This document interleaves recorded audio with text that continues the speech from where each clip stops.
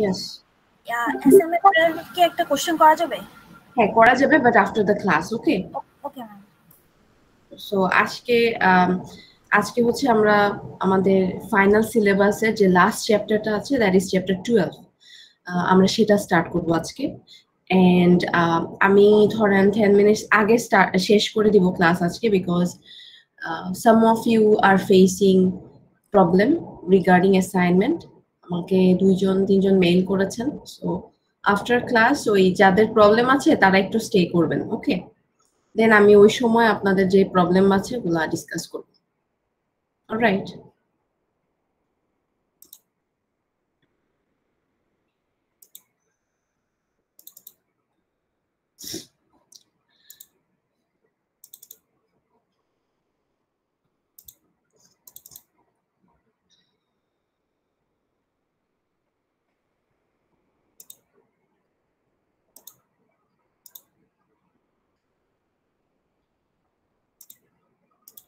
Okay, so chapter 12 is about differential analysis. You can see the screen, right? Yes, ma'am. Okay so এটা হচ্ছে আপনারা যে বইটা follow করছেন সেটারই চ্যাপ্টার টুয়েলভ ওকে এটার নাম হচ্ছে differential analysis a key to decision making alright if you can remember when we were discussing about cost classifications under chapter 2 we didn't cover all of those um, there was uh, one classification remaining that I told you that it will be discussed when we will be discussing chapter 12. Can you remember? Yes, ma'am. So today we will start from this, okay? আমরা ওই টপিকটা দিয়ে আজকে start করব first হচ্ছে আমাদের ওই cost ক্লাসিফিকেশনের পাঁচ number classification That is cost classification on the basis of decision making then দুই নাম্বার টপিক হচ্ছে characteristics of relevant cost and then আমরা different types of decision making নিয়ে শিখব। And this chapter is all about decision making হ্যাঁ? আপনাদেরকে যখন আমি managerial accounting প্রথম যখন আমি পড়ানো শুরু করলাম, তখন আমি বলেছিলাম যে managerial accounting is for internal users and it's more about making decisions about the business. And decision গুলো হচ্ছে very private and personal for business right এটা অন্যদের সাথে ডিসকাস না করলে হয়। অন্যদের সাথে বলতে বাইরের কারোর সাথে ডিসকাস না করলেও চলে এই ধরনের ডিসিশনগুলা রাইট তো ওই ডিসিশন গুলাই কীভাবে আমরা মেক করি when we are running a business এই চ্যাপ্টারটা ইজ অল অ্যাবাউট দিস আমরা জানি যে ম্যানেজার অ্যাকাউন্টিং হচ্ছে ডিসিশন মেকিং নিয়ে বাট কিভাবে ক্যালকুলেশন দিয়ে ডিসিশন নেওয়া যায় সেটা আমরা এই চ্যাপ্টারে শিখবো ওকে So let's start with the classification first, then we will move on to our exercises and এই চ্যাপ্টারটা আসলে যেটা নিয়ে সেখানে আমরা মুভ করব Okay, so based on decision making or on the basis of or for the purpose of decision making, cost can be classified into three categories. তিনটা ভাগে ভাগ করা যায় কস্টকে এখানে আপনারা দেখতে পাচ্ছেন নামগুলা। এগুলো হচ্ছে কস্টের classification and this is the last classification আমাদের। First one is sunk cost second one is differential cost third one is opportunity cost Have you heard of any of this before? আপনারা কি অপরচুনিটি কস্টটা শুনছি।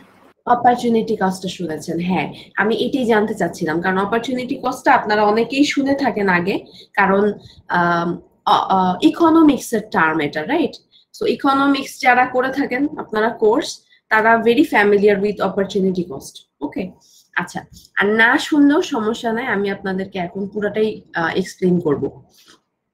So প্রথম যেটা আছে সাং cost সাং cost কাকে বলে? Let's check Sunk cost নিয়ে বলেছে cost that has already been incurred and cannot be changed by any decisions made now or in the future. Cost that already that has already been incurred and cannot be changed by any decisions made now or in the future. আচ্ছা আর তারপরে second পয়েন্টে বলেছে some costs are excluded from future business decisions because the cost will remain the same regardless of the outcome of a decision. Some costs are excluded from future business decisions because the cost will remain the same regardless of the outcome of a decision. সেটা হচ্ছে দুইটা point সান cost নিয়ে এখন আমি একটু চেষ্টা করি এটাকে ইজিলি এক্সপ্লেন করার এখানে একটা কথা বারবার বলা হচ্ছে যে যেই কস্টটা অলরেডি ঘটে গেছে লাইক অলরেডি সম্পাদিত হয়েছে অ্যান্ড কোনোভাবে এটা চেঞ্জ করা পসিবল না ফিউচারে কোনো অন্য ডিসিশনের মাধ্যমে। তার মানে it's already happen and you have no control over it এটাকে কন্ট্রোল করা যায় না, ঠিক আছে? তো এখন এরকম কি কস্ট আছে? এরকম কস্ট আছে অনেক ধরনের। তার মধ্যে depreciation is one of them আপনি যখন একটা অ্যাসেট পারচেজ করেন ডেপ্রিসিয়েশন হবেই। ইউ কান্ট স্টপ ইট মানে এরকম করা- করতে পারবেন না আপনি যে আমি একটা অ্যাসেট কিনেছি, আমি এটা অল্প অল্প ইউজ করব। তাহলে কিন্তু কম ডেপ্রিসিয়েশন হবে না। ডেপ্রিসিয়েশন একইভাবে হবে। আপনি অল্প ইউজ করেন আর বেশি ইউজ করেন। ঠিক আছে? কারণ ওই যে বলেছি যে ডেপ্রিসিয়েশনের যে আমাদের যে প্রসেসটা বা আমাদের যে ডেপ্রিসিয়েশন ক্যালকুলেশনের ওয়েটা ওটা কিন্তু আমি কতটুকু আমার অ্যাসেট ইউজ করছি it doesn't depend on this factor এই কারণেই কিন্তু depreciation is a fixed cost মনে আছে? ডেপ্রিসিয়েশন কিন্তু ভ্যারিয়েবল না। আপনাদের প্রথমে মনে হয়েছিল যে আমি মনে হয় বেশি ইউজ করলে বেশি পুরনো হয়, কম ইউজ করলে কম পুরনো হয়, এরকম মনে হয়েছিল আপনাদের অনেকের। অ্যান্ড আপনারা বলেছিলেন যে it is a variable cost but it's not because depreciation হবে and it doesn't depend on how much you are using it it depends on some other factors ঠিক আছে? এটা মোস্টলি হচ্ছে টাইমের সাথে রিলেটেড ইউজেজ না। মনে করেন um, আপনি একটা অ্যাসেট কিনেছেন and you are using it for last five years আপনার ফ্রেন্ডও কিনেছে অ্যান্ড সেও ফাইভ ইয়ার্স ধরেই ইউজ করছে। কিন্তু আপনার ইউজ করার ওয়ে অনেক ভালো থাকছে মানে আপনি খুব সুন্দর করে ইউজ করছেন। You are handling it quite well and আপনার যে ফ্রেন্ড তার হচ্ছে মানে খুব রাফ ইউজ করছে আর কি। কিন্তু আপনাদের মধ্যে ডেপ্রিসিয়েশনে খুব একটা কিন্তু পার্থক্য হবে না। যদি আমরা ক্যালকুলেশন ওয়াইজ চিন্তা করি। কারণ কি? কারণ ওই যে অ্যাকাউন্টিং এর যে ডেপ্রিসিয়েশন প্রসেসটা it it depends on the time mostly instead of the usage okay আচ্ছা। তো ডেপ্রিসিয়েশন হচ্ছে একটা সান কস্টের এক্সাম্পল এখন আসি, আর কি আছে? আর হচ্ছে, মনে করেন যে you want to launch a new product in your business and before launching a new product আপনি কিন্তু অনেক রিসার্চ করবেন। ঠিক আছে? আপনি একটু রিসার্চ করবেন on the product and plus on the customers who are going to use it right আপনি কিন্তু ধুম করে নিয়ে আসবেন না এটাকে। আপনি একটু স্টাডি করবেন যে এটার দরকার আছে কিনা, এটা কাদের দরকার, এটা যদি আমি আনি, এটা কি চলবে কিনা, এটা কোন ধরনের লোকেশনে বেশি অ্যাপ্রোপ্রিয়েট তো এইভাবে আর কি জিনিসগুলো চিন্তা করতে হয়। তো এই যে প্রসেসটা চিন্তা করার, বা এই যে প্রসেসটা রিসার্চ করার, এটা কি আপনার লাইক ফ্রি করা যাবে? ইজ ইট ফর ফ্রি এখানে কিন্তু কস্ট ইনভলভ আছে। আপনারা জানেন কিনা আমি জানি না। দেয়ার ওয়াজ দেয়ার আর সাম কোম্পানিজ যাদের আলাদা ডিপার্টমেন্ট আছে রিসার্চ এন্ড ডেভেলপমেন্ট কস্ট নামে। সরি রিসার্চ এন্ড ডেভেলপমেন্ট নামে ডিপার্টমেন্ট আছে। যেখানে হচ্ছে এই রিসার্চ রিলেটেড কাজগুলো হয়। And there are also some companies যাদের কাজই হচ্ছে শুধু রিসার্চ এন্ড ডেভেলপমেন্ট তারা আর কোনো কিছু করে না। ঠিক আছে? যেমন আপনারা বিভিন্ন ওই যে, কি বলে এটাকে?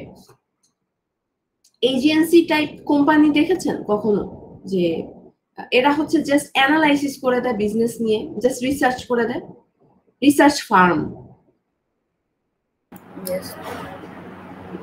যে কি যেন নামটা নেলসন মনে হয়। মার্কেটিং এর একটা রিসার্চ ম্যাম একটা হচ্ছে না নেলসন না এটা হচ্ছে আরেকটা নেলসন এটা। তো এরাও হচ্ছে যেটা করে তারা তারা হচ্ছে রিসার্চ করে দেয় আর কি। মানে মনে করেন আমি আমার business and I can do the research মানে like by myself so I can hire someone who can do this on behalf of me তো মনে করেন আমি আউটসোর্স করলাম এই সার্ভিসটা so there are companies who does this তো মনে করেন রিসার্চ এন্ড ডেভেলপমেন্ট হচ্ছে ওয়ান অফ দিস তো এখন আমি বলি, মনে করেন আপনি লঞ্চ করবেন প্রোডাক্ট আপনি রিসার্চ এন্ড ডেভেলপমেন্ট করলেন। এখানে কিন্তু কস্টিং আছে। আপনি আরেকজনকে দিয়ে করান, সেখানেও কস্টিং আছে। আপনি নিজে করলেও খরচ আছে। এখন আপনি করলেন, করার পরে finally you are going to launch the product and you launched it তারপরে দেখলেন যে somehow that product was not a success তো এখন মানে জিনিসটা হচ্ছে কি? জিনিসটা হচ্ছে যে you can continue with it right আপনি যখন দেখছেন আপনার প্রোডাক্টটা সাকসেসফুল না and somehow it's not working out আপনি কিন্তু এটার সাথে কন্টিনিউ করতে পারবেন না। আপনাকে এটা হয় বন্ধ করে দিতে হবে ওর অন্যভাবে চ্যানেলিং করতে হবে এটাকে। কিন্তু আপনি তো রিসার্চের খরচটা তো করে ফেলেছেন, এটা কি কোনোভাবে কাভার করা সম্ভব বা এটা কি উইথড্র করা সম্ভব?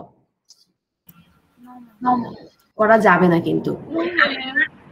হ্যাঁ করা যাবে না। সো এই যে research and development cost for this type of project যেটা ফেইলড হয় সেটাকে আমি বলতে পারি sunk cost because it's already happened it can not be changed by any decisions made now or in the future বুঝতে পারছি আমরা? কনসেপ্টটা কি ক্লিয়ার আচ্ছা। তো এখন যেহেতু হ্যাঁ। বলেন। আচ্ছা বুঝেছেন ওকে তো জিনিসটা হচ্ছে যে এটা যেহেতু অলরেডি ঘটে গেছে অ্যান্ড আমাদের এটার উপর কোনো কন্ট্রোল নাই এই জন্য আমরা এটাকে ক্যালকুলেশনে আনব না। When we are making some decision এটার কোনো ইম্প্যাক্ট থাকবে না আমার ডিসিশনে কারণ কি? কারণ আমি তো এটা কন্ট্রোল করতে পারছি না। আজকে আমি যে কোনো ডিসিশনই নেই এটা হবেই। তো এটাকে ক্যালকুলেট করার কোনো পয়েন্ট আছে? মানে এটার কোনো ইউজ আছে বলেন? মানে আমি যদি অপশন এ চুজ করি, তাও দশ হাজার টাকা খরচ হবে। অপশন বি চুজ করলেও দশ হাজার টাকা খরচ হবে। তো আমি এ নিব না বি নিব? এটা কি দশ হাজার টাকা দিয়ে কোনোভাবে এফেক্টেড হচ্ছে? না কিন্তু। এই জন্য some cost are excluded from the future business decisions and এটা যেহেতু সেম থাকে অ্যান্ড চেঞ্জ করা যায় না, এই জন্য এটাকে আমরা ক্যালকুলেশনে বা আমাদের কনসিডারেশনে আনি না। সো সাম কস্ট এই জন্য অলওয়েজ বাদ দিই। আচ্ছা। এবার আসি সেকেন্ড ওয়ান ডিফারেন্সিয়াল কস্ট আচ্ছা ডিফারেন্সিয়াল কস্ট নিয়ে কি বলেছে? The difference between cost of two or more alternatives আচ্ছা তার আগে আমি একটু আপনাদেরকে বলি যে আমি বলেছি যে this chapter is more about making decisions for the business আচ্ছা so when it comes to decision making there are options right মনে করেন যে আমি যখন বলব একটা ডিসিশন নিতে হবে আমাকে তার মানে there are multiple options or at least two options otherwise if there is only one option there is nothing to decide এটা কি আপনারা বুঝেন? হ্যাঁ যদি আপনার কাছে একটাই অপশন থাকে আপনার কিন্তু ডিসাইড করার কিছু নাই আপনাকে এটাই করতে হবে। এন্ড আপনি এটাই চুজ করবেন। You have no other option but when you have multiple choices তখন কিন্তু ডিসিশন মেকিং এর ব্যাপারটা চলে আসে। তখন কিন্তু কস্ট বেনিফিট অ্যানালাইসিস এর ব্যাপারটা চলে আসে যে which one I should pick which one should which one will be good for good right so এটা বিজনেসের ক্ষেত্রেও ট্রু মাল্টিপল অপশন থাকলে আপনাকে ডিসিশন নিতে হয়। এন্ড ওটা তো আর ইমোশনাল ডিসিশন নেওয়া যায় না। ওখানে ক্যালকুলেশন করতে হয়। Before making any type of decision তো ক্যালকুলেশন যদি আমরা করি, তাহলে ডেফিনেটলি আমরা ওই ধরনের অপশনটাই চুজ করব যেটাতে আমার বেনিফিট বেশি বা আমার লাভ আছে, ঠিক না? কস্ট যেটাতে বেশি ওটাতে কি আমি যাব? কেউ কি যাবে? তো কমন সেন্স তো মনে করেন আমার দুইটা অপশন আছে option A and option B so এটাকে একটু আরেকটু ডিটেল যদি বলি যে এটা কিসের অপশন হ্যাঁ কারণ everything every decision can have options right বা every project or every incident or every type of circumstances can have options. তো এটা কিসের অপশন মনে করেন আমি বাসা খুঁজছি। এটা হচ্ছে বাসার অপশন যখন আপনি একটা বাসা খুঁজতে থাকেন, আপনি কি যেই বাসাটা দেখেন সেই বাসাটাই নিয়ে নেন নাকি কয়েকটা বাসা দেখেন? কি করেন? কয়েকটা বাসা দেখি।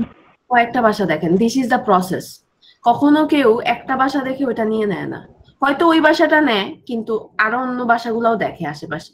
মনে করেন আমি অনেকগুলা বাসা দেখেছি অ্যান্ড ফিল্টার আউট করে করে করে করে ফাইনালি দুইটা সিলেক্ট করেছি মানে দুইটা দেখেছি আমার অপশনে অ্যান্ড এই দুইটার মধ্যে থেকে যে কোনো একটা আমি চুজ করব, ইনশাল্লাহ।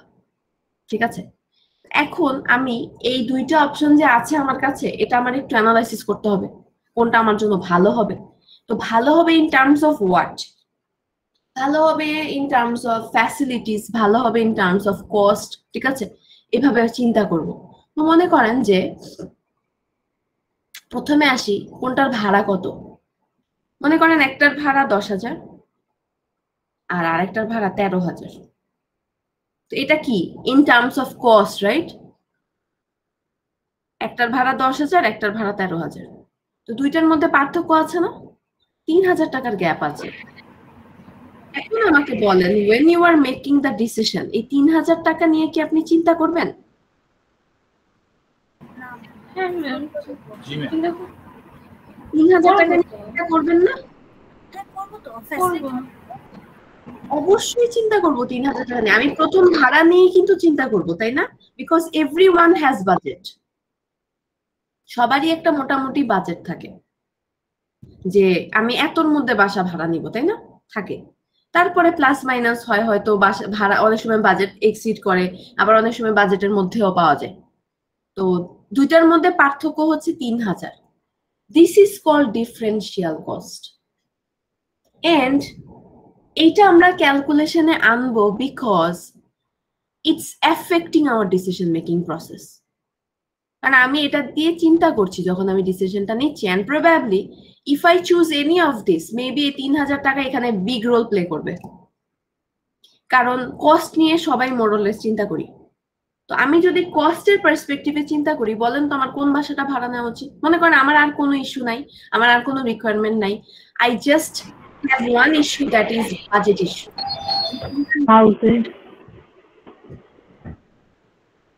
কোন অপশনটা নিব? Option A option A because it's cheaper এটার ভাড়া কম, আমি অপশন এ সিলেক্ট করব, ঠিক আছে? বিকজ আমার বাজেট কনস্ট্রেন্ট আছে। কিন্তু এখন আপনি বলতে পারেন যে কস্ট ছাড়াও there can be some other factors cost ছাড়াও আরও অনেক ফ্যাক্টর আমরা দেখে থাকি বাসা ভাড়া করার ক্ষেত্রে। তো সেগুলা কি হতে পারে? সেগুলো হতে পারে ফ্যাসিলিটিস সেটা হতে পারে সিকিউরিটি না? যে বাসাটা কীরকম প্রপারলি ভেন্টিলেটেড কিনা, বাসাটা কতটুকু স্পেশাস বাসাটা কি একই সাইজের না একটু ছোট বড় আছে? আপনার ওখানে যে সিকিউরিটি ওটা কি কীরকম? এটা কি ভালো নাকি ভালো না? তারপর বাসাটার লোকেশন ভেরি ইম্পর্ট্যান্ট লোকেশনটা কি খুব কনভেনিয়েন্ট নাকি অনেক ভেতরে? ঠিক আছে? So there R some other factors যেগুলো আমরা চিন্তা করি বিফোর রেন্টিং আ প্লেস কিন্তু কস্ট নিয়ে তো অবশ্যই চিন্তা করি। তো এখানে বলেছে the difference between cost of two or more alternatives তার মানে দুইটা বা তার বেশি অপশনের মধ্যে কস্টের যে পার্থক্য বা ডিফারেন্স সেটাকে বলে ডিফারেন্সিয়াল কস্ট ওকে আচ্ছা। সেকেন্ড বলেছে the cost occurs when a business faces several options, and a choice must be made by picking one option and dropping the other. তার মানে যে অনেকগুলো অপশন থাকলে, একটা অপশন আমি তো ধরেন সবকিছু একসাথে মানে আমি এখানে কথা বলছি, যেগুলো একসাথে করা যাবে না। মিউচুয়ালি এক্সক্লুসিভ অপশনস আপনি একসাথে দুইটা করতে পারবেন না। যেমন আপনি একসাথে দুইটা বাসা ভাড়া নিতে পারবেন না। দুইটা বাসায় কি একসাথে থাকা সম্ভব নাকি? একটা যে কোনো একটা বাসা ভাড়া নিব। করতে পারবেন if you have money you can rent rent an another place but it will be a waste কারণ আপনি তো অ্যাট দ্য সেম টাইম দুইটা বাসায় থাকতে থাকতে পারবেন না। তো যে কোনো একটা অপশন সিলেক্ট করতে হবে। তো আরেকটা হচ্ছে it is relevant for decision making because ওই যে বললাম যে এটা আমাদের ডিসিশন মেকিংকে ইনফ্লুয়েন্স করছে। ইন মেনি ওয়েজ আমরা চিন্তা করছি যে তিন হাজার টাকা বেশি দিব? আচ্ছা তিন হাজার টাকা বেশি দিয়ে আমি দেখব যে তিন হাজার টাকা যে আমি বেশি দিব এখানে আমি বেশি কি পাচ্ছি? আমি এটা দেখব না? দুইটাই যদি সেম লেভেলের হয় এন্ড কোনোটার মধ্যে যদি পার্থক্য না থাকে কিন্তু একটার ভাড়া দশ হাজার একটার ভাড়া তেরো হাজার আপনি কোনটাতে নিয়ে যাবেন বলেন তো? যদি আমি দশ হাজার টাকাতে যাবেন কারণ দশ হাজার টাকা হচ্ছে আপনাকে বেশি ভ্যালু প্রোভাইড করছে for money right good value for money আর যদি তেরো হাজার টাকাতে যাই we will definitely look for more facilities otherwise আমরা কিন্তু তেরো হাজারটা নিব না। তো জিনিসটা হচ্ছে এটাকে বলে ডিফারেন্সিয়াল কস্ট যে দুইটার মধ্যে পার্থক্য। কিন্তু আজকে যদি মনে করেন দুইটা অপশনের মধ্যে দুইটার ভাড়াই দশ হাজার হতো। এখানে কোনো ডিফারেন্স আছে দুইটার মধ্যে? না ম্যাম আমাদের কোনো ডিফারেন্স নাই। তো এখানে যখন আপনি ডিসিশন নেবেন will you think about cost no ma'am তখন কস্টের তো কোনো এখানে কোনো পার্থক্য নাই। মানে আপনি কস্ট নিয়ে চিন্তা কেনই বা করবেন? আপনি চিন্তা করবেন এইভাবে যে যেটাই নেই আমার তো দশ হাজার টাকাই লাগবে মাসে। এখন you will look for some other factors আপনি তখন অন্যটা দেখবেন যে ও দশ হাজার টাকা তো দিতেই হবে। লেটস চেক যে দশ হাজার টাকায় কোনটায় সুবিধা বেশি সুযোগ সুবিধা বেশি। কোনটার লোকেশন ভালো কম্পারেটিভলি তো আপনি কিন্তু কস্ট নিয়ে আর ভাববেন না।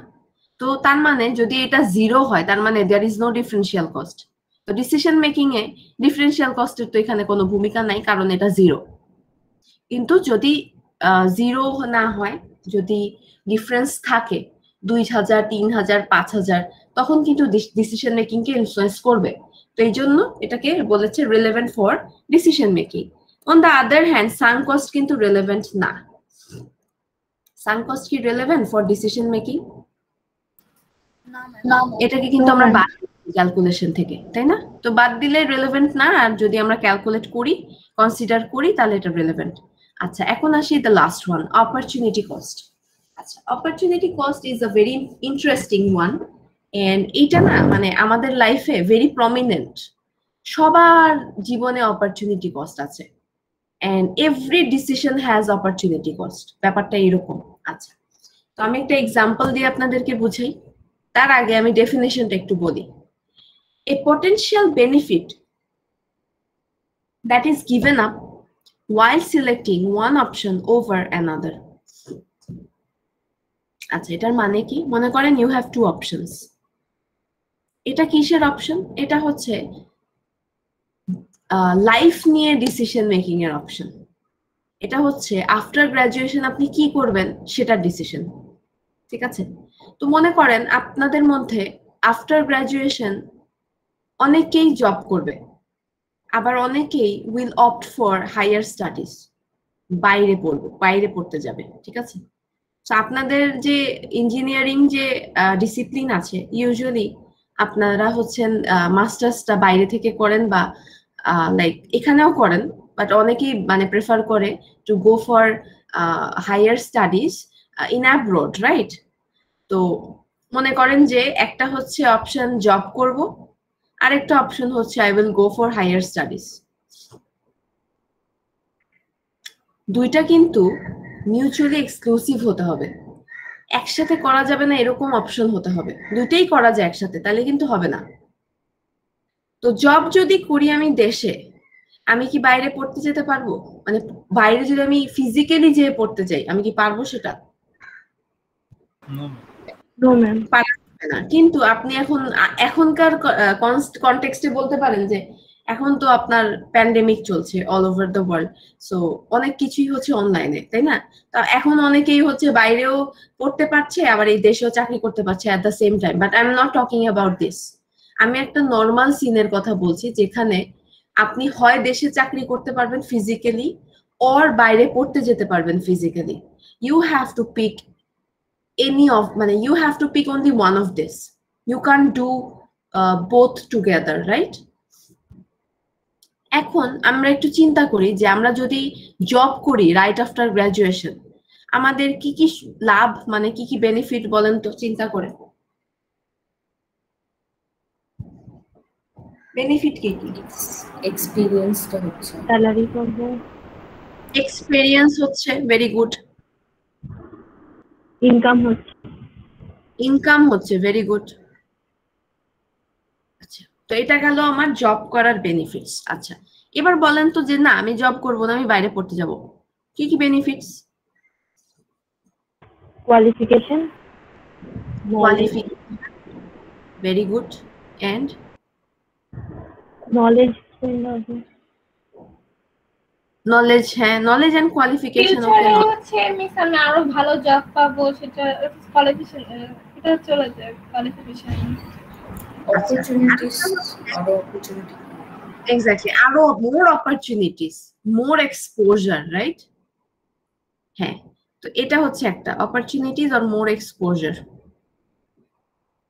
আচ্ছা এখন দুইটারই সার্টেন সেট অফ বেনিফিটস আছে রাইট দুইটারই বেনিফিটস আছে, আবার কস্ট আছে দুইটার। তো এখন আমি যদি যে কোনো একটা চুজ করি, আমি আরেকটাকে কি করতে হবে? আমার স্যাক্রিফাইস করতে হবে না? মনে করেন, আজকে যদি আমি চিন্তা করি বা আমি যদি ডিসাইড করি আমি জব করব, আমি বাইরে যাব না, তাহলে এই যে সেট অফ বেনিফিটস এটাকে কি আমার কি করতে হবে? ফর গো করতে হবে স্যাক্রিফাইস করতে হবে গিভ আপ করতে হবে রাইট আপনি যদি জব করেন you can't have this have this opportunities have this benefits right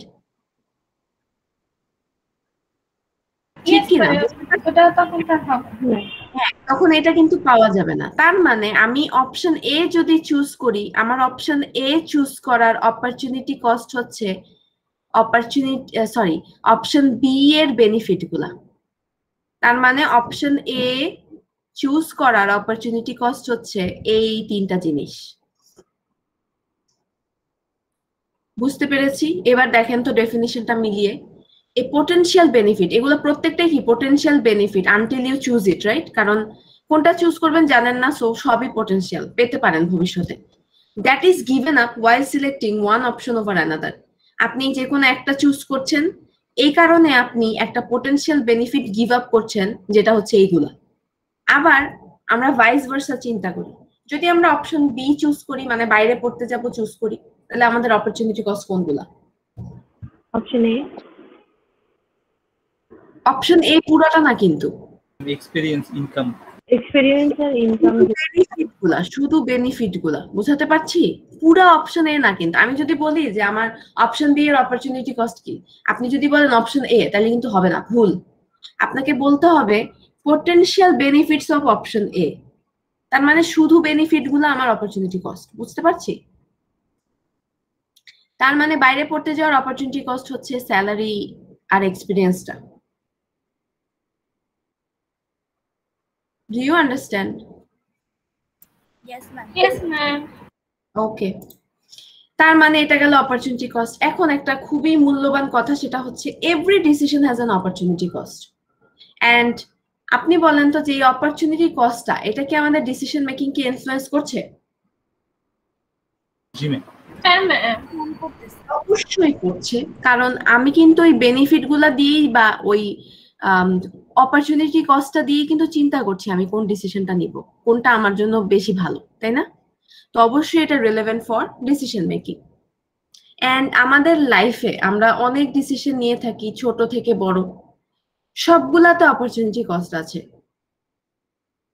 মানে আপনারা কি সেটা ফিল করতে পারেন এখন আপনি এমনি নর্মালি র্যান্ডমলি চিন্তা করেন যে মনে করেন the last decision you made ওটা নিয়ে একটু চিন্তা করেন ওখানেও দেখেন অপরচুনিটি কস্ট আছে জি So ma'am every decision has an opportunity cost. This is the fact. Okay. আর আমি একদম সহজ ভাষায় যখন বুঝাই স্টুডেন্টদেরকে তখন আমি এটা বলি যে মনে করেন অনেক অপশন আছে অপশনের মধ্যে আমি একটা চুজ করলাম, ঠিক আছে? এন্ড একটা চুজ করার কারণে কিন্তু আমি অন্যগুলার যে ভালো লাগার বিষয়গুলা মানে আমি যখন ফিল্টার আউট করি, আমি যখন ফিল্টার করে বিভিন্ন অপশন আমার হাতে রাখি, তখন কিন্তু ডেফিনেটলি ওইগুলার মধ্যে অবশ্যই কিছু বেনিফিট আছে বা আমার জন্য সুইটেবল কিছু ব্যাপার স্যাপার আছে। এই জন্যই কিন্তু আমি ওগুলাকে আমার অপশনে রেখেছি, তাই না? তো এখন আমি যদি একটা চুজ করি, তাহলে বাকিগুলার যে সুইটেবল ব্যাপারগুলা, সেগুলাকে কি আমার স্যাক্রিফাইস করতে হয়? So sometimes we regret right আমরা আমাদের আফসোস হয় আরে এটা নিলে মনে হয় ভালো হতো। এরকম হয় না? বা চিন্তা করি যে ওটা তো নিতে পারলাম না, বা এরকম একটা রিগ্রেট হয়। তো মনে করেন ওই যতগুলা রিগ্রেট হয় যা নিয়ে, ওগুলাই অপরচুনিটি কস্ট মেইনলি কারণ ওগুলো আপনি কি করছেন? গিভ আপ করছেন। So any cost you give up for selecting one option over another this is called opportunity cost তার মানে আমি তিনটা কস্ট নিয়ে জানলাম। একটা হচ্ছে সাং কস্ট এটা হচ্ছে রিলেভেন্ট না মানে ক্যালকুলেশন এটাকে আমরা আনব না। ডিফারেন্সিয়াল কস্ট এটা হচ্ছে রিলেভেন্ট অ্যান্ড এটাকে ক্যালকুলেশনে আনব। And opportunity cost this is also relevant and এটাকে আমরা অবশ্যই ইনক্লুড করব ইন আওয়ার ক্যালকুলেশন ঠিক আছে? কোনো কোয়েশ্চেন আছে আপনাদের. আচ্ছা। এখন আসি। Characteristics of relevant cost or avoidable cost or differential cost এগুলো হচ্ছে সিনোনিমাস রিলেভেন্ট অ্যাভয়েডেবল ডিফারেন্সিয়াল এরা ইন্টারচেঞ্জেবলি ইউজ হয় একই মিনিং তো এদের কিছু ক্যারেক্টারিস্টিক্স আছে। তার মানে কি? মানে আপনি ক্যালকুলেশনে কনসিডার করবেন কিনা ওই কস্টগুলার কিছু বৈশিষ্ট্য আছে। দুইটা বৈশিষ্ট্য। একটা হচ্ছে definitely it is not a sunk cost or past cost মানে আপনি যেই কস্টটাকে আপনার ক্যালকুলেশনে কনসিডার করবেন, এটা কোনোভাবেই সান কস্ট হতে পারবে না। এটা আমরা জানি, কারণ sunk cost is a is an irrelevant cost আচ্ছা আর আরেকটা হচ্ছে it must vary between the alternative decisions এটা হচ্ছে আপনার অল্টারনেটিভ যে অপশনগুলো আছে, এদের মধ্যে অবশ্যই ডিফারেন্স থাকতে হবে। একই রকম হলে ওটাকে আবার ক্যালকুলেশনে আমরা আনব না। যেমন আমি একটু আগে আমি বললাম যে আপনি দুইটা বাসা ভাড়া নিবেন দুইটারই ভাড়া দশ মানে সরি একটা বাসা ভাড়া নিবেন কিন্তু দুইটা অপশন আছে। দুইটারই ভাড়া হচ্ছে দশ হাজার। দুইটার মধ্যে কোনো ডিফারেন্স আছে ডিসিশন মেকিং এর? In terms of cost. এটা কিন্তু আপনার আমি রিলেভেন্ট কস্ট বলব না কারণ এটার মধ্যে কোনো ডিফারেন্স নেই। So it must vary or it it must have difference between the alternatives তার মানে দুইটা ক্যারেক্টারিস্টিক্স একটা হচ্ছে it is not a sunk cost or past cost আরেকটা হচ্ছে it must vary between the alternatives এই দুইটা বৈশিষ্ট্য থাকলেই আমরা তাকে কি করব? ক্যালকুলেশনে কনসিডার করব। এখন আসি এই চ্যাপ্টারের মেইন যে ডিসকাশন পয়েন্ট সেটা হচ্ছে ডিফারেন্ট টাইপস অফ ডিসিশনস আমরা অনেকগুলো ডিসিশন মেক করব, তার মধ্যে চারটা হচ্ছে মেজর প্রথমটা হচ্ছে retain or drop the segment সেকেন্ডটা হচ্ছে make or buy third one is special order and fourth one is sell or process further এই চার ধরনের ডিসিশন একটার সাথে একটার কোনো মিল নাই। সবগুলারই আলাদা আলাদা ক্যালকুলেশন অ্যান্ড ডিসিশন মেকিং এর ওয়ে আছে। কোনোটাই কোনোটার সাথে রিলেটেড না। আমরা যদি প্রথমটা দিয়ে স্টার্ট করি that is retain or drop the second এটার মানে কি জানেন? এটার মানে হচ্ছে মনে করেন you have a business and you have multiple products in your business আপনি বিজনেস করছেন অফ মাল্টিপল প্রোডাক্টস ধরে নিলাম যে এখানে তিনটা প্রোডাক্ট আছে product A product B and product C do you think that যে সবগুলা প্রোডাক্ট সমানভাবে সাকসেসফুল হবে? একই রকম পারফর্ম করবে? Ma'am. না কিন্তু হ্যাঁ। কোনোটা অনেক ভালো হবে মানে কোনোটা অনেক পপুলার হবে কোনোটা লেস পপুলার হবে কোনোটা একদমই চলবে না এরকমও হতে পারে। ঠিক আছে? তো আমরা বলেন তো কোনটা নিয়ে চিন্তিত হব? যে প্রোডাক্টটা চলে নাকি যে প্রোডাক্টটা চলে না? চলে না। চলে না। চলে না। হ্যাঁ মনে করেন প্রোডাক্ট সি হচ্ছে এমন একটা প্রোডাক্ট যেটা একটু স্লো মানে স্লো বলতে বুঝাচ্ছি আনপপুলার খুব খুব বেশি কাস্টমার এটা কেনে না। বা এটার অত একটা চাহিদা নাই, এরকম একটা প্রোডাক্ট সো এইরকম প্রোডাক্ট যদি আমার প্রোডাক্ট লাইনে থাকে I have to think about it I have to make decisions about it whether I should continue with this or I should drop this product. Retain করা মানে এটাকে রাখা কন্টিনিউ করা এটাকে, আর ড্রপ করে দেওয়া মানে এটাকে বন্ধ করে দেওয়া। দেয়ার আর মেনি ইনসিডেন্টস যেখানে হচ্ছে অনেক প্রোডাক্ট ডিসকন্টিনিউ হয়ে যায়। আছে না? ছিল কিন্তু এখন হ্যাঁ তো ওখানে ধরেন যে এরকম ডিসিশন মেকিং হয়ে থাকে যে আমি কি কন্টিনিউ করব নাকি ড্রপ করব? তো যারা ধরেন কন্টিনিউ করে তাদের তো প্রোডাক্টটা থাকে মার্কেটে আর যারা ড্রপ করে দেয় দেখবেন হঠাৎ করে আউট অফ মার্কেট হয়ে গেছে ওটা। তার মানে কি? দে ড্রপ দ্য সেগমেন্ট কেন করেছে? Maybe that particular product line is not generating enough profit okay? Or making a very loss, or making a large amount of loss, দুইটার একটা হবে। তো এই ডিসিশনটাকে বলে retain or drop decision retain or drop the segment okay আমরা এখন একটা ম্যাথ করব। ম্যাথটা করলে আপ- আপনাদের আইডিয়াটা আরও ক্লিয়ার হবে। দেখেন সবাই কোয়েশ্চেনটা সবাই একটু পড়ি। ক্যান ইউ রিড দিস পড়া ম্যাম যায়? বুঝতে পারছি না অনেক ম্যাম একটু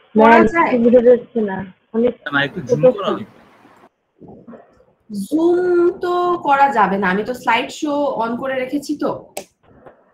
আমি তো জুম করতে পারছি না। আপনাদের স্ক্রিনে জুম করা যায় না? জি ম্যাম তাহলে আপনারা জুম করে নেন। আমি তো ফুল স্ক্রিন দিয়ে রাখছি। আর জুম নেই। ফুল স্ক্রিন আমি মানে লাইক আপনি যখন আমার ক্লাসটা অ্যাটেন্ড করেন তখন তো জুম করা যায়।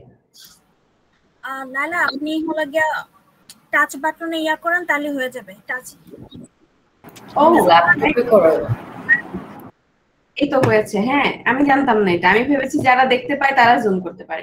ওকে থ্যাংক ইউ দেখতে পাচ্ছি এখন? ইয়েস ম্যাম ওকে আচ্ছা তো দেখেন এখানে কি বলেছে? Charter sports equipment manufactures round rectangular and octagonal trampolines charter sports equipment হচ্ছে একটা বিজনেস তারা হচ্ছে ট্র্যাম্পোলিন ম্যানুফ্যাকচার করে।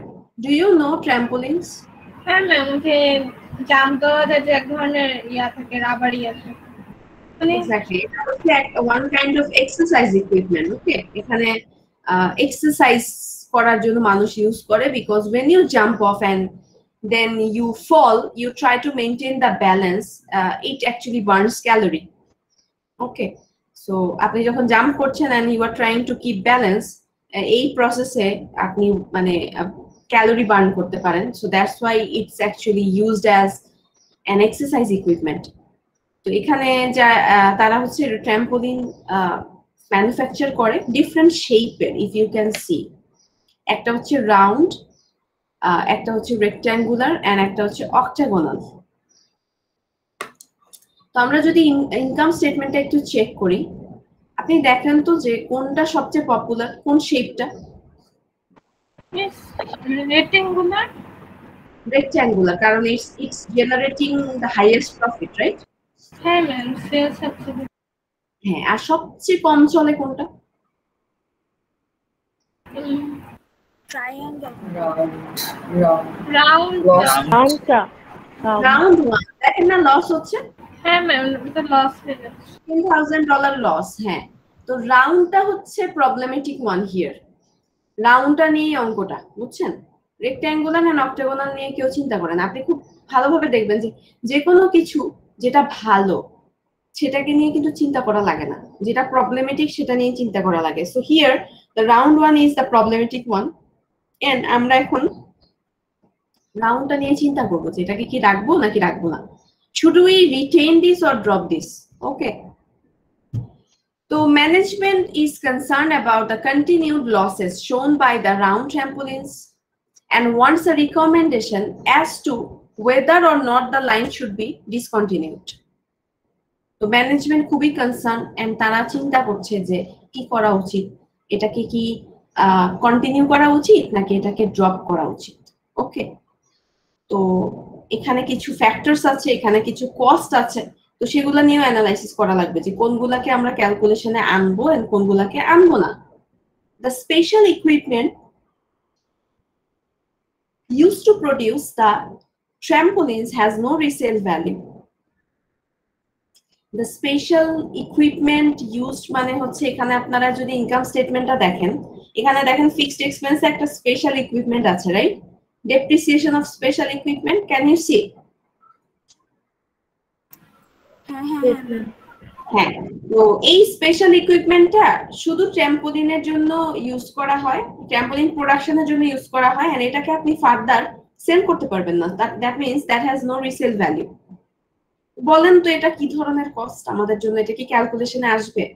নো ম্যাম না, কি ধরনের কস্ট সানকস সান কস্ট ভেরি গুড তো this is a sunk cost and আমরা এটাকে মানে ক্যালকুলেশনে আনব না। আচ্ছা আরেকটা কি? If the round trampolines model is dropped the two line supervisors assigned to the model would be discharged তার মানে যদি আমি রাউন্ড ট্রাম্পোলিনটাকে বাদ দিয়ে দিই মানে রাউন্ড ট্রাম্পোলিনটাকে আর রাখলাম না ডিসকন্টিনিউ করে দিলাম তো খেয়াল করে দেখেন এর জন্য দুইজন সুপারভাইজার রাখা আছে যাদেরকে আমি ছয় হাজার টাকা স্যালারি দিই দেখতে পাচ্ছেন? হ্যাঁ ম্যাম জি ম্যাম।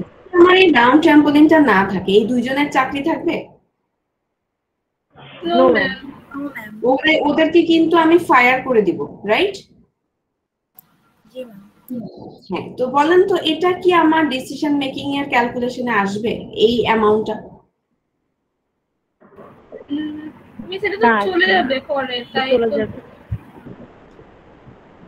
মানে জিনিসটা হচ্ছে এটা কি আপনি কন্ট্রোল করতে পারছেন?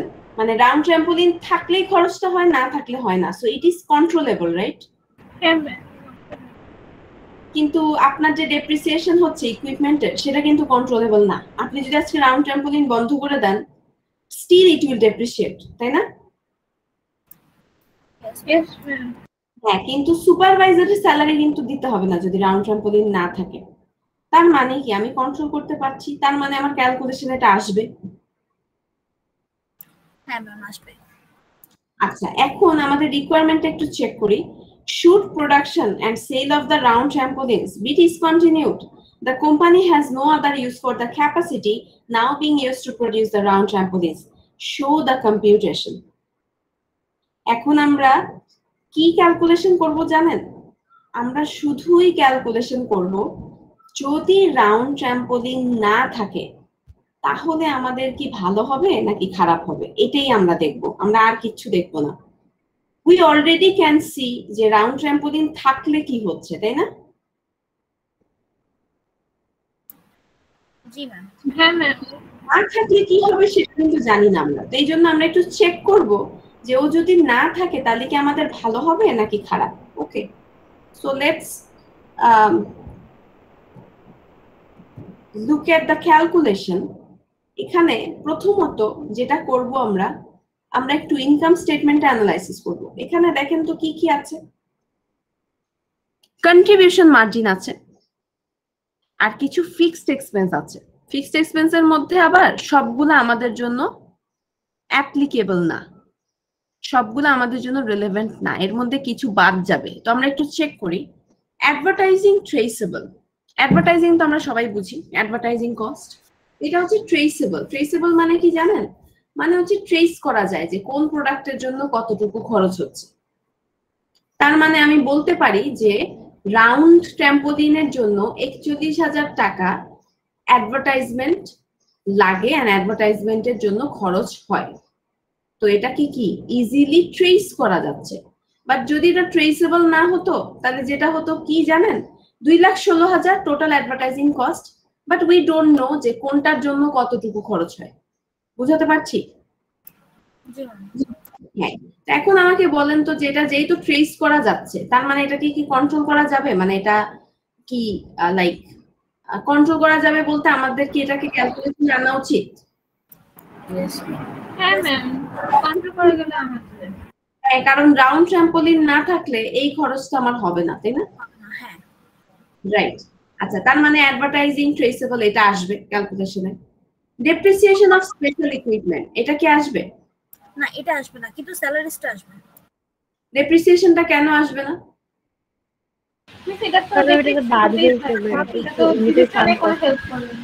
হ্যাঁ তো এটা এটা কি ধরনের খরচ? এটা বলতে হবে।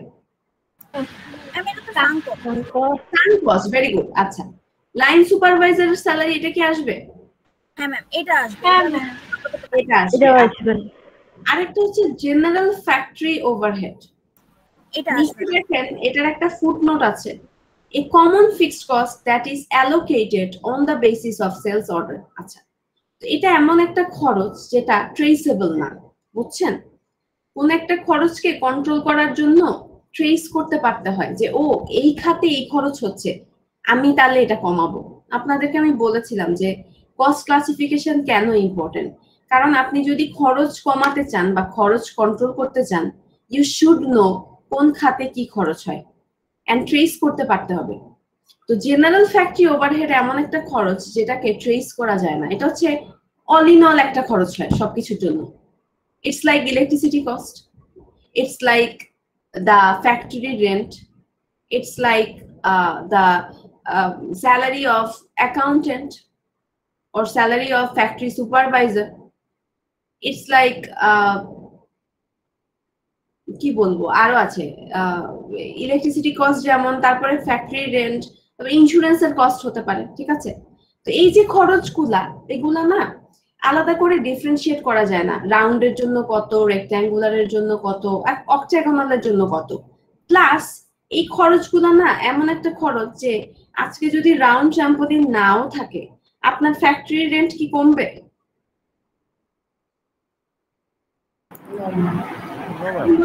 এক লাখ টাকা ভাড়া দেন তিনটা প্রোডাক্ট প্রডিউস করেন তিনটা। রাউন্ড রেক্ট্যাঙ্গুলার অক্টাগোনাল আজকে মনে করেন আপনি ডিসাইড করলেন আমি আর রাউন্ড ট্রাম্পোলিন প্রডিউস করব না। আপনার যে ফ্যাক্টরির যে ওনার সে কি তার রেন্ট কমিয়ে দিবে?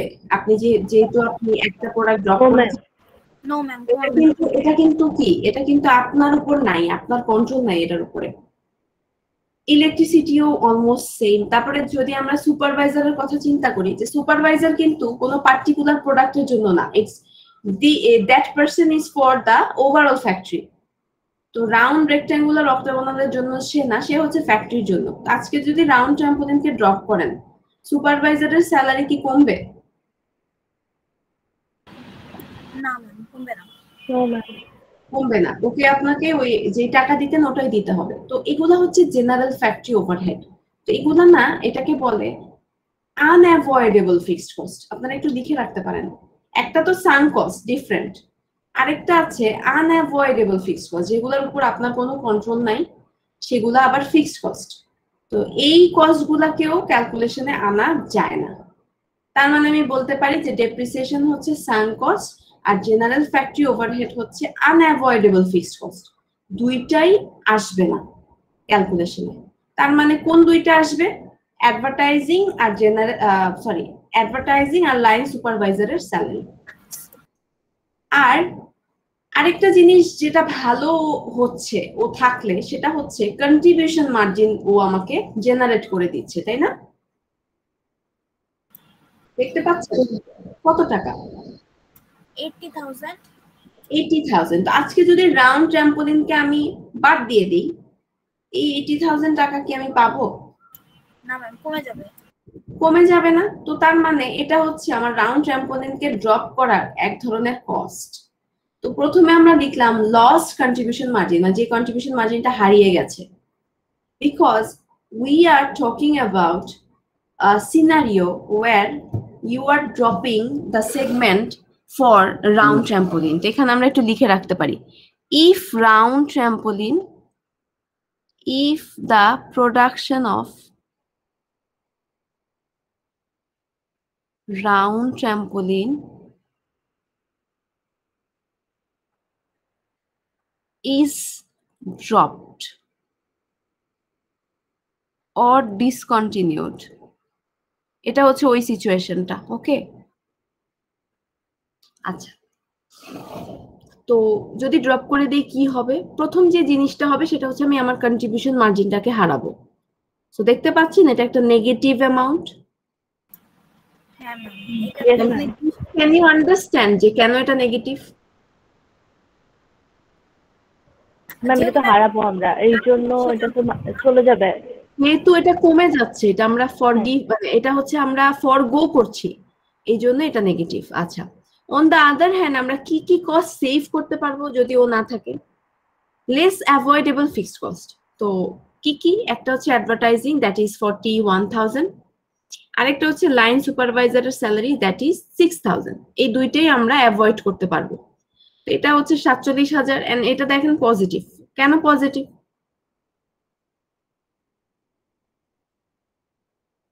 খরচ জুড়ে তো আর হচ্ছে না, টাকাটা থেকে যাবে।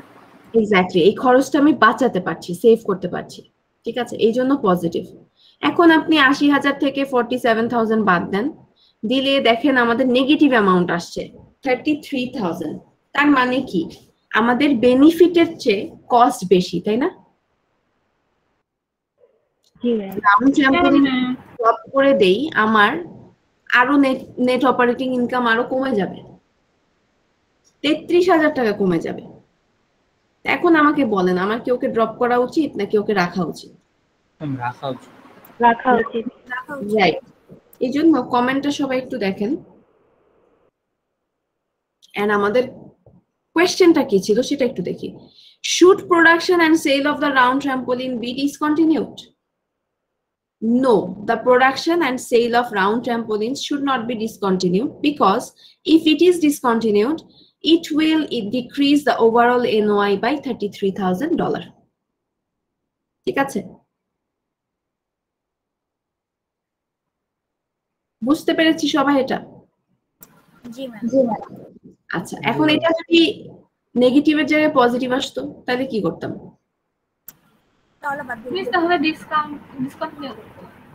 তাহলে ডিসকন্টিনিউ করে দিতাম রাইট আচ্ছা আর যদি জিরো আসতো?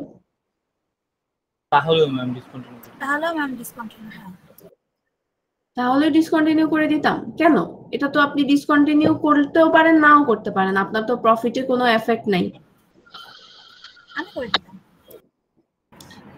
এটা তো যেহেতু আমাদের কোনো প্রফিটে এফেক্ট করছে না কিন্তু আমাদের লস তো হচ্ছে এটা প্রোডাক্ট করার জন্য। হয়তো পনেরো হাজার লস তাই জন্য এটা ডিসকন্টিনিউ করব।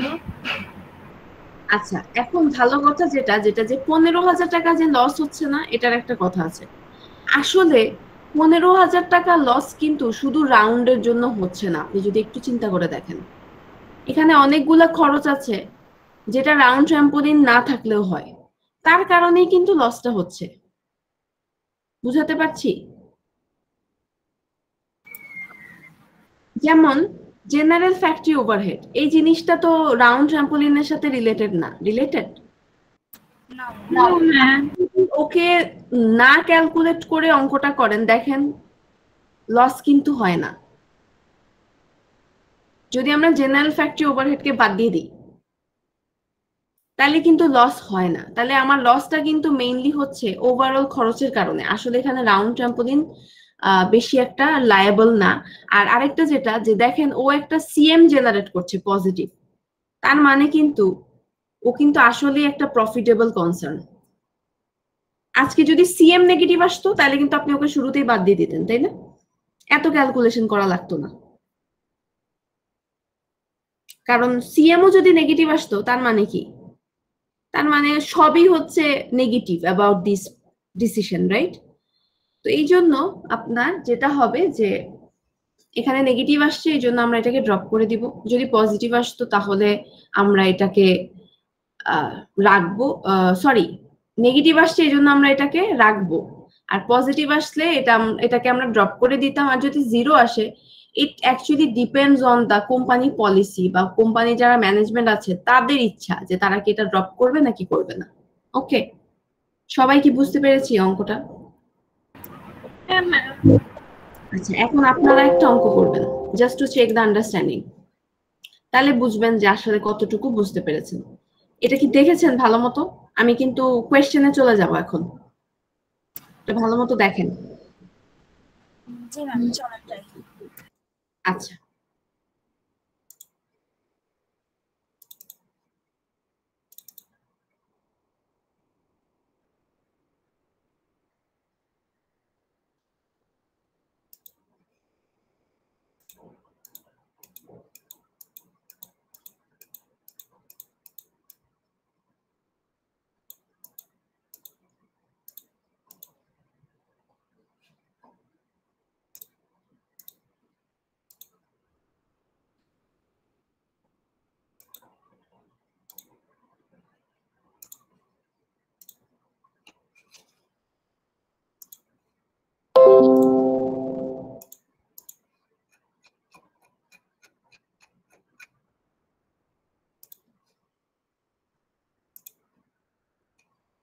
দেখতে পাচ্ছি?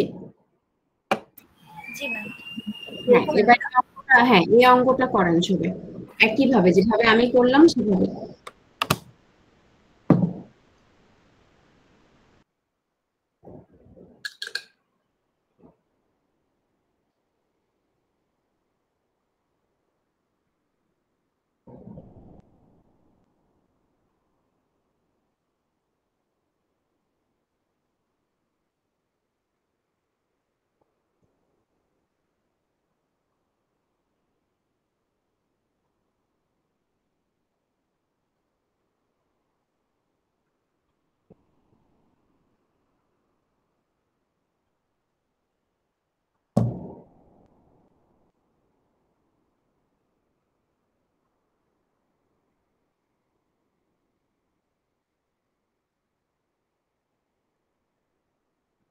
possible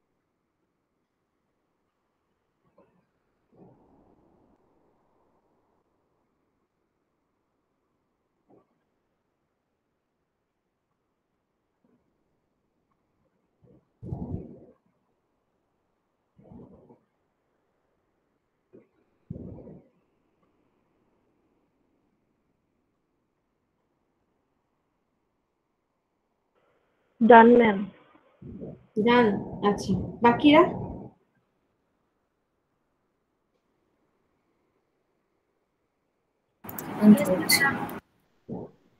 শেষ। বলেন তো কত আসছে? ম্যাম ফার্স্টটা আসছে Ma'am. Eleven thousand eleven thousand minus eleven thousand negative হ্যাঁ নেগেটিভ নেগেটিভ তার মানে কি রাখা উচিত তাই না? জি ম্যাম আর আহ, কি বলে? ও আর তো কিছু নাই এটাই। So, সবাই কি বুঝতে পেরেছি? Eleven thousand negative should be the answer and comment করতে হবে কমেন্ট আমি যেভাবে করেছি সেভাবে করতে হবে এভরি টাইম সো বলতে হবে যে ড্রপ করা যাবে না। আচ্ছা আরেকটা করতে হবে আরেকটা করেন। এরকম আরেকটা অঙ্ক আছে।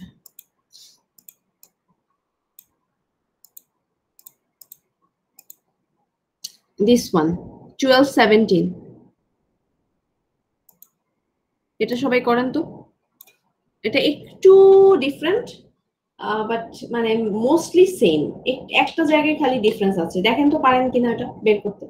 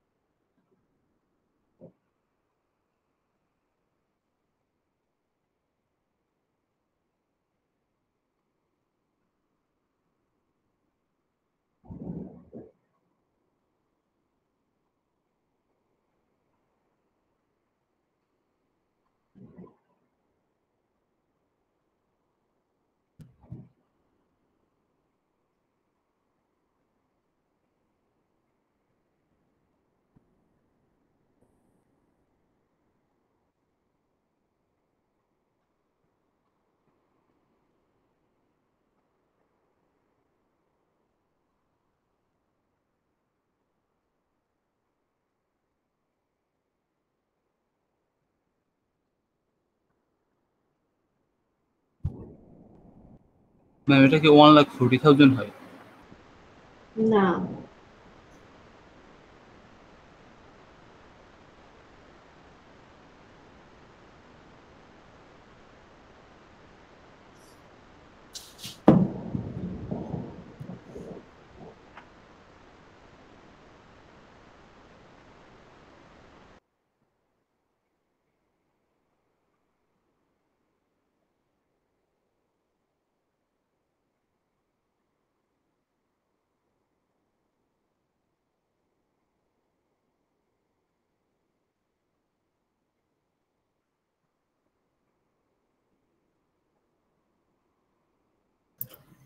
ম্যাম শেষ তিন লাখ পঞ্চাশ হাজার তিন লাখ পঞ্চাশ হাজার? হ্যাঁ ম্যাম তিন লাখ পঞ্চাশ হাজার। রাইট কীভাবে করেছেন বলেন? ম্যাম ফার্স্টে হচ্ছে ও ও যে সিক্সটি এখন দশ শতক হাজার আচ্ছা ছয় লাখ যে ম্যাম কন্ট্রিবিউশন মার্জিন ছিল ওইটা থেকে হচ্ছে হলো গিয়ে ওখানে বলা আছে যে লাইন ডিপার্টমেন্ট ওই যে টেন পার্সেন্ট ডিক্রিজ করে ডিপার্টমেন্ট। হ্যাঁ ওই যেটা ম্যাম ওইটাই। তো ওইটা দিয়ে আমি টেন পার্সেন্টকে আগে মাল্টিপল করছি তো আমার আসছে হলো গিয়া শত হাজার আচ্ছা দুই লাখ দশ হাজার আসে তো ওইটা থেকে ওইটা মাইনাস করছি মাইনাস করার পর আসে আট লাখ দশ হাজার। রাইট হ্যাঁ। তারপর? এরপরে হলো গিয়া যে ফিক্সড কস্টটা আছে সেটা হচ্ছে এখানে আছে হলো গিয়া আট লাখ। আট লাখ থেকে ওইখানে বলাই আছে যে তিন লাখ চল্লিশ হাজার মাইনাস হবে। মানে হবে হ্যাঁ। ওইটা করার পর আমার আসছিল চার লাখ ষাট হাজার। তারপরে। ওই আট লাখ দশ হাজার থেকে চার লাখ ষাট হাজার বিয়োগ করে দিছি। বিয়োগ করার পর এখন আমার আসছে নেগেটিভ তিন লাখ পঞ্চাশ হাজার। রাইট বুঝতে পেরেছেন সবাই? আমি বুঝতে পেরেছি বাট কেন করলাম এটা বুঝতে না। কারণ এখানে তো শুধুমাত্র ফিক্স কস্টটা দেওয়া আছে আর হচ্ছে সিএমটা দেওয়া আছে। সো এখানে আমরা চিন্তাটা কীভাবে করছি? Like how are we approaching it মানে বুঝি নাই। ক্যালকুলেট করেছি? ম্যাম প্রবলেমটা অ্যাপ্রোচ করলাম কীভাবে? লাইক যে এখান থেকে আমি টেন প্রবলেমটা প্রবলেমটা তো অ্যাপ্রোচ করলেন এইভাবে যে এখানে তো বলেই দিয়েছে যে মানে এই কোয়েশ্চেনটা একটু ডিফারেন্ট ভাবে বলা কিন্তু প্রসেস কিন্তু সেম আগের মতোই যে আমাদের এখানে দুইটা ডিপার্টমেন্ট আছে একটা হার্ডওয়্যার একটা লিনেন্স রাইট তো এখানে আমরা একদম ক্লিয়ারলি দেখতে পাচ্ছি যে linen is not performing well here তো এখানে লিনেন নিয়েই সবাই চিন্তিত। তো a study indicates that 3,40,000 of the fixed expenses being charged to linens are sunk cost or allocated cost that will continue even if the linens department is dropped. তার মানে এই তিন লাখ চল্লিশ হাজার টাকা আমাদের কি? আসবে না। বাকিটা আসবে। যে ফিক্সড এক্সপেন্সটা আছে না আট লাখ একটা ফিক্সড এক্সপেন্স আছে না লিনেনের জন্য? হ্যাঁ এটার মধ্যে কিন্তু তিন লাখ চল্লিশ কিন্তু কি আমাদের জন্য রেলেভেন্ট না because it's a sunk cost or allocated cost তার মানে দ্য রেস্ট অফ ইট হচ্ছে আমাদের জন্য রিলেভেন্ট এটা গেল। আরেকটা কি বলেছে? In addition the elimination of the linens department result in a ten percent decrease in the sales of hardware department এখানে আগে এটা ছিল না। এটা একটা অ্যাডিশনাল ইনফরমেশন বিকজ আগে যেটা ছিল যে আমার যদি লিনেন ডিপার্টমেন্টকে ড্রপ করি, তাহলে লিনেন ডিপার্টমেন্টই শুধু এফেক্টেড হয়। ওর সিএম কমে যায়, ওর খরচ বাঁচে, আর কারোর সাথে কোনো সম্পর্ক ছিল না। But here linen department has been tagged with hardware department এখানে বলেছে যে লিনেনের না থাকার কারণে হার্ডওয়্যারের সেলিংও কমে যায়। বুঝাতে পারছি? লিনেনের না থাকার কারণে আপনি যদি লিনেনকে ড্রপ করে দেন তাহলে আমার হার্ডওয়্যারের সেল টেন পার্সেন্ট ডিক্রিজ করবে। তা তার মানে কি? আমার দুই ধরনের সিএম লস্ট হচ্ছে। বুঝাতে পারছি নাফিসা? তাহলে টেন পার্সেন্ট অফ হ্যাঁ ten percent of hardware department CM. আচ্ছা আচ্ছা। একুশ লাখ। একুশ লাখের ওকে। তো তার মানে আমি দুইটা সিএম লুজ করছি। একটা হচ্ছে লিনেনেরটা পুরা দ্যাট ইজ সিক্স লাখ আর আরেকটা হচ্ছে হার্ডওয়্যারের টোয়েন্টি ওয়ান লাখের টেন পার্সেন্ট দ্যাট ইজ দুই লাখ দশ হাজার। সো টোটাল আমার এখানে আমি স্যাক্রিফাইস করছি আট লাখ দশ হাজার। একটা হচ্ছে ফর লিনেন একটা হচ্ছে ফর হার্ডওয়্যার আচ্ছা অন দ্য আদার হ্যান্ড আমরা সেভ করছি কিছু অ্যামাউন্ট তো সেভ কোনটা করছি? আট লাখ থেকে তিন লাখ চল্লিশ বাদ দিলে যে অ্যামাউন্টটা থাকে সেটা আমরা সেভ করতে পারছি রাইট তো সেটা সেভ করলে যদি ক্যালকুলেশন করেন তাহলে আসে negative three lakh fifty thousand নাকি? ম্যাম হ্যাঁ তো এখানে আবার যে ইয়েস নো করে কমেন্ট করা যাবে না বিকজ এখানে রিকোয়ারমেন্ট একটু different if you can see if the linen department is dropped what will be the effect on the net operating income of the company as a whole আপনি এভাবে লিখবেন if the linen department is dropped the net operating income of the company as a whole will decrease by three lakh fifty thousand dollar. বুঝতে পারছি? হ্যাঁ। কমেন্টটা কিন্তু একটু অন্যরকম। সবকিছুতে কিন্তু চোখ বন্ধ করে ইয়েস নো লিখে দিয়েন না দেখে নিয়েন কীভাবে জানতে চেয়েছে রাইট ওকে ম্যাম এখন বলেন কোনো কোয়েশ্চেন আছে? না আমার নাই। আচ্ছা।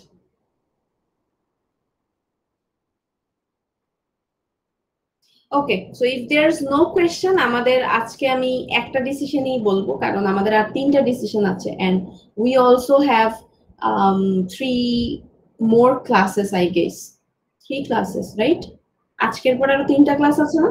জি ম্যাম কালকে একটা আর হচ্ছে নেক্সট উইক যদি ক্লাস হয়। হ্যাঁ, তো আরও তিনটা ক্লাস আছে সো আমরা আরও টাইম পাচ্ছি। সো দ্যাটস ওয়াই আমি আজকে একটা ডিসিশনই রাখব আর নতুন ডিসিশনে যাব না। নেক্সট ক্লাসে আবার নতুন ডিসিশনে যাব ঠিক আছে? সো আজকের ক্লাসের ডিসকাশন এখানেই শেষ। আপনাদের অ্যাসাইনমেন্ট রিলেটেড যদি কোনো কোয়েরি থাকে ইউ ক্যান স্টে আমি অ্যাটেন্ডেন্স নিয়ে নিব এখনই। যাদের নাই কোনো কোয়েরি তারা চলে যাবেন এন্ড যাদের আছে, তাদের, তারা থাকবেন, ঠিক আছে? আর কি যেন শাহনেওয়াজ শাহান, আপনি কি আছেন?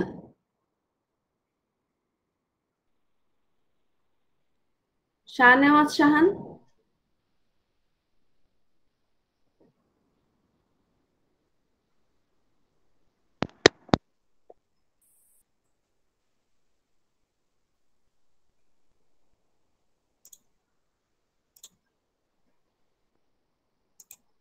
মিস আছে ও? মাইকের প্রবলেম ও আছে ও মাইকের প্রবলেম না ওর অন্য অনেক প্রবলেম বুঝছেন? ও সুন্দর অ্যাটেন্ডেন্সের সময় দেখবেন আবার এসে পড়েছে ঠিক আছে? ওকে কি আপনারা কেউ মানে ওর সাথে যোগাযোগ আছে?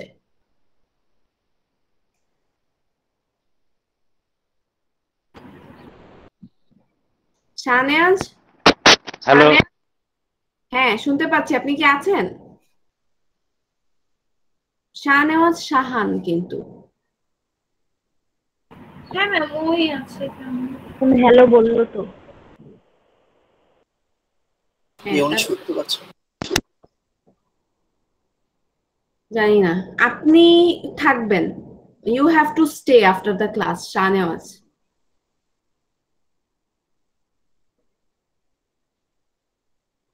একটু কথাই বলতে পারেন ওর সাথে আমি কি করব?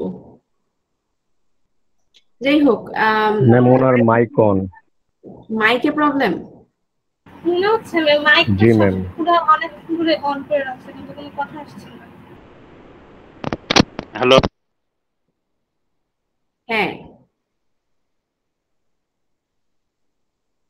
Respond your names, please. Anna Career, present ma'am Ariful Islam, yes ma'am Fuad bin Rahman yes ma'am Amit Kumar Biswas. Diganta Howlader. Niamul Chowdhury. Present ma'am ah, Ayesha Siddika. Sadman Rafid Nazmus Sakib. Joy Poddar. Yes ma'am Ashikul Arefin. Shakhawat Hossain Rezwana. Yes ma'am Rasel Ahmed.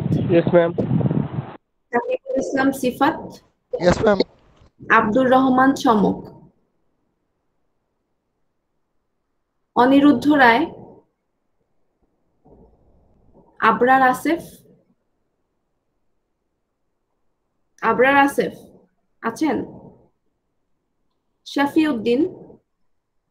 Arefin Itteshafun present ma'am. Jahiduddin Sami. Yes ma'am Zubair Rahman. Yes ma'am Pallab Kumar. Kazi Sayeda. Anik Biswas. Yes ma'am Tarim Islam Prapti. Faisal Kabir Rafi. Present ma'am Hasibul Hasan Rupak yes ma'am Shahnewaz Shafin. Present ma'am Mahmudul Hasan. Yes ma'am Rafiul Hasnat. Yes ma'am Purba Morsalin. Yes ma'am Laila Kader. Present ma'am Tasfia Zaman. Present ma'am Ishrat Jahan. Ishrat Jahan তো আছে না? নাকি নাই? Ismail Abrar present ma'am Tasmima Hossain Present, ma'am. Imam Hasan yes ma'am Kashfi Afroz present ma'am Tanvir Hossain Khan Present, ma'am. Yash Chakraborty Present, ma'am. Kamruzzaman Rabiul Islam Yes, ma'am. Nafis Anjum Nafisa Shahnewaz Shahan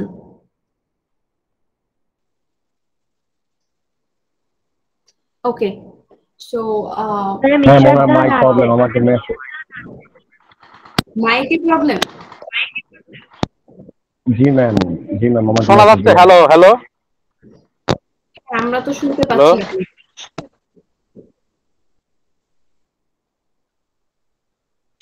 মাইকে problem হলে কীভাবে হবে? I need to talk to him তো কথাই বলতে পারছি না। আচ্ছা যাই হোক আহ, আপনারা হচ্ছে যাদের অ্যাসাইনমেন্ট ইস্যু আছে অ্যাসাইনমেন্ট নিয়ে ইস্যু আছে তারা থাকেন। আর যাদের নাই you can leave okay and যাদের যে প্রবলেম আছে আমাকে একটা একটা করে বলবেন।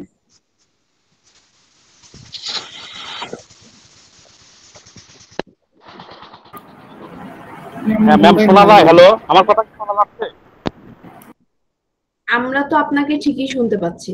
শুনতে পাচ্ছি জি ম্যাম আমিও শুনতে পাচ্ছি ম্যাম হুম সো আপনার কি মাইক প্রবলেম আপনার কি মাইক প্রবলেম জি ম্যাম এখন শুনতে পাচ্ছি তো। আমার কথা শোনা যায় ম্যাম হ্যাঁ শোনা যায়। জি ম্যাম তাহলে ঠিক হয়ে গেছে।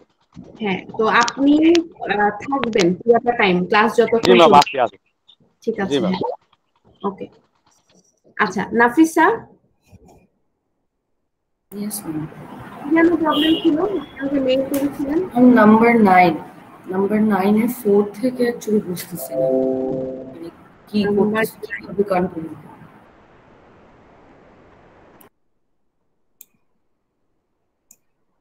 কত number math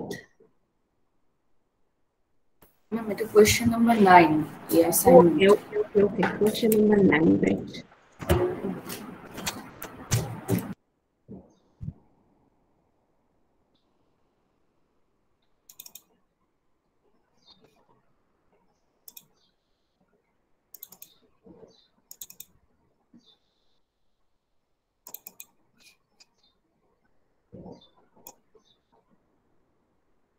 Okay, question number nine, uh, চার নাম্বার রাইট ইয়েস এখানে বলেছে refer again to the data in number two above the president feels that the company must raise the selling price of its basketballs if Northwood company wants to maintain the same CM ratio as last year what selling price per ball must it charge ne- next year to cover the increased labor cost এখানে কিছুই না এখানে হচ্ছে আপনাকে আম, কি বলে এটাকে? অঙ্কটা করতে হবে হচ্ছে এভাবে ধরে যে সিএম রেশিও সেম রাখতে হবে ঠিক আছে? এখানে মানে কি ম্যাম আমার সিএম রেশিও কি প্রবলেম তাহলে কি আমরা নাম্বার ওয়ানে যে সিএম রেশিওটা বের করেছি সেটা দিয়ে করতেছি তাই হ্যাঁ হ্যাঁ, ওটা দিয়ে করছেন রাইট এখানে আপনাকে জানতে চাওয়া হয়েছে আপনার কাছে যে সেলিং প্রাইসটা কত হবে তাই না? Yes ma'am per ball right তো সেম সিএম রেশিও মেনটেন করতে চাইলে আমার যেহেতু লেবার কস্ট বেড়ে গেছে তার মানে আমার সেলিং কস্ট কত থাকতে হবে? তার মানে আমার পি বের করতে হবে রাইট জি। হ্যাঁ তো এখন আপনি সিএম রেশিও সেম রেখে ওটাকে বের করতে হবে। তো আপনি অঙ্কটা এইভাবে করবেন যে সিএম রেশিও আমরা যে ফর্মুলাটা শিখেছি equals to P minus V divided by P বুঝাতে পেরেছি? P minus divided by P এটা হচ্ছে CM রেশিওর formula if you can remember G ma'am তাহলে ম্যাম রেশিওটা তো আমরা পার্সেন্টেজেই রাখতেছি রাইট যেমন ফর্টি রেশিওটা আপনি এই পাশে রাখবেন যেটা আপনি বের করেছিলেন আগে শুরুতে। ওটা পার্সেন্টেজই থাকবে। তিনটা মিসিং থাকবে ভি এর ভ্যালু বসে যাবে। তারপর আস্তে আস্তে যখন আপনি ইকুয়েশনটা সলভ করবেন you will get the value of P very easily ঠিক আছে? ইয়েস ম্যাম ঠিক আছে এটাই ছিল। ইয়েস ম্যাম তাহলে এটা করতে পারলে বাকিটা তো হয়ে গেছে দেন নেক্সট রেজওয়ান হুম হুম। কে যেন আরে আরেকজন মেইল করেছিলেন ম্যাম আমাকে। কোশ্চেন এইটের থ্রিটা একটু। কোনটা? Ma'am question eight require three question eight miss Tasfia হচ্ছে চলে ভাইবা আছে এই জন্য চলে গেছে। ও বলছে যে কোয়েশ্চেন এইটে থ্রি অ্যান্ড ফোরটা একটু ওকে বলতে যে কীভাবে হবে আচ্ছা কোয়েশ্চেন এইট এর three and four right yes ma'am four তো বললাম মাত্র। এটা তো নাইন নাম্বারে এইটে ম্যাম আপনি থ্রিটা বললে ও আচ্ছা ম্যাম থ্রি করলে ফোর পারা যাবে। আচ্ছা। আহ, আচ্ছা হ্যাঁ কোয়েশ্চেন এইট না ওই যে মিন্ডেন কোম্পানি ওকে থ্রি হচ্ছে assuming that the marketing studies R correct what is the maximum annual profit that the company can earn at how many units and at what selling price per unit would the company generates this profit আচ্ছা তো এটা হচ্ছে miss black একটা screen দেখা যাচ্ছে আমরা কিছু দেখতে পাচ্ছি ও কোয়েশ্চেনটা আপনাদের সাথে শেয়ার করব না মানে যদি আপনি কিছু শেয়ার করে থাকেন একটা কালো স্ক্রিন তো এই জন্য বললাম। আচ্ছা আচ্ছা হ্যাঁ।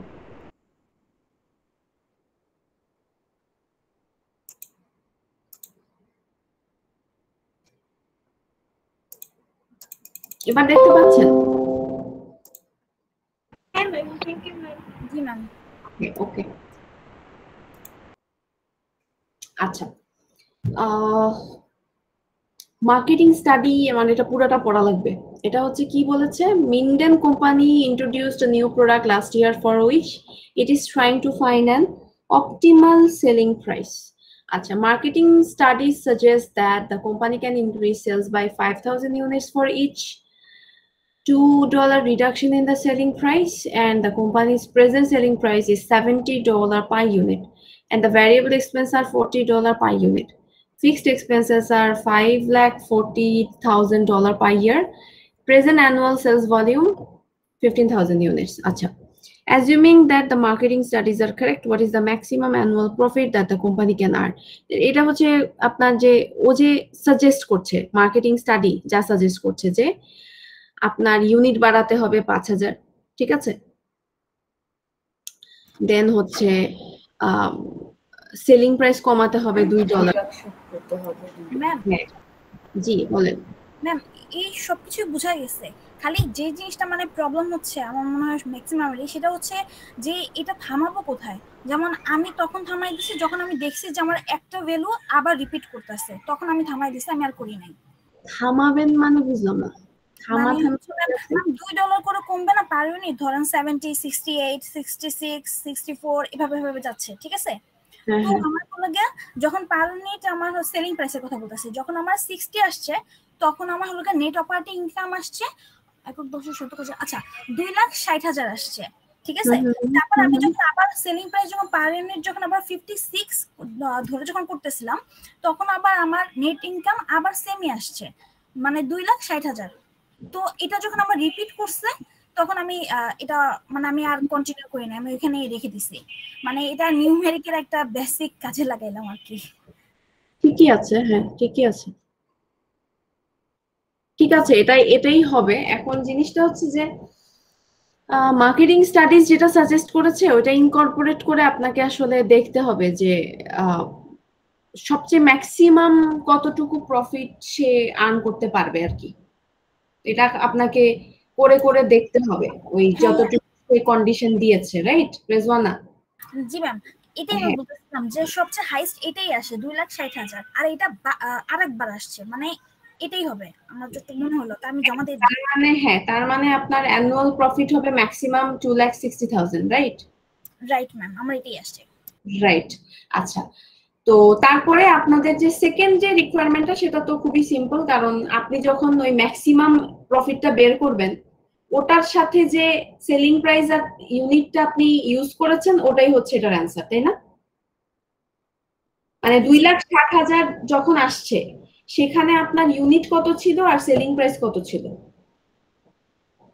এটা হচ্ছে এখানে রিকোয়ারমেন্ট তো দুই লাখ ষাট হাজার যখন আসছে তখন আপনার ইউনিট কত ছিল? Selling sales volume fifty eight fifty eight আর সেলিং প্রাইস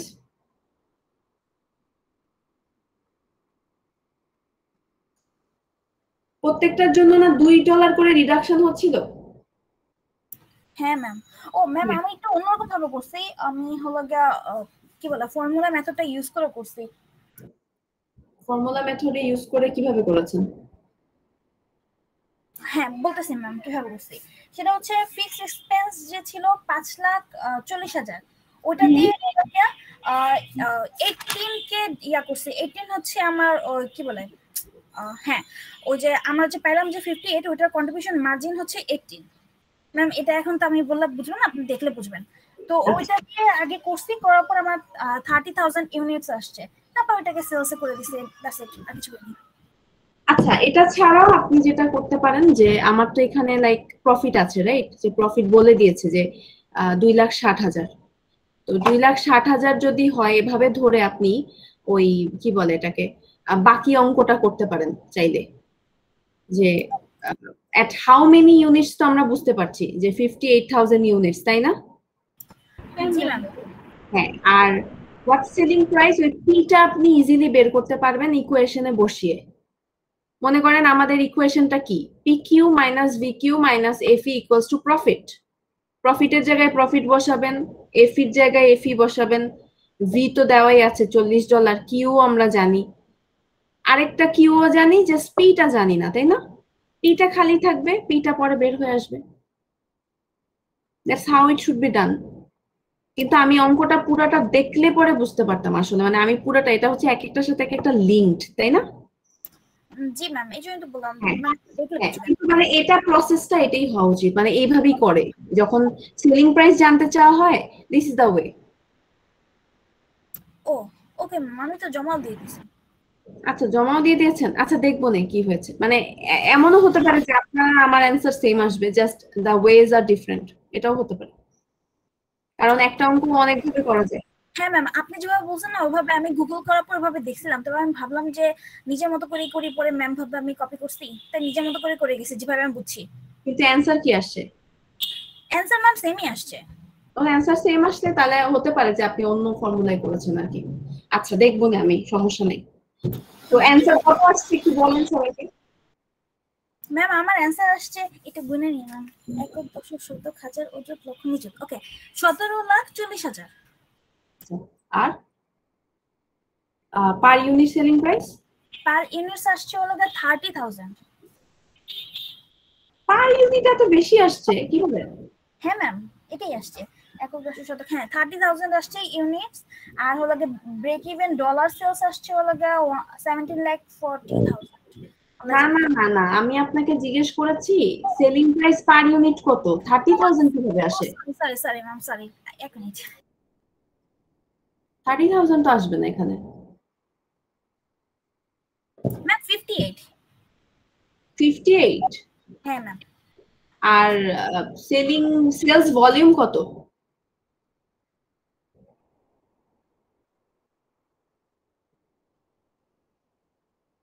এই আপনারা করেন নাই এটা?